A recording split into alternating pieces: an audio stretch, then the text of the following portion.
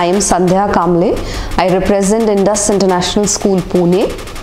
So the infrastructure at Thapar is world class.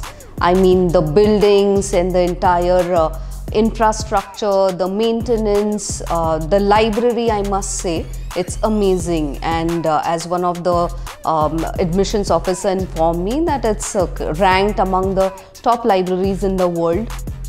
So my compliment because uh, it's a huge campus. I'm been informed that it's some 300 acres plus and uh, has all these different types of programs whether it's engineering, computer science, AI, psychology.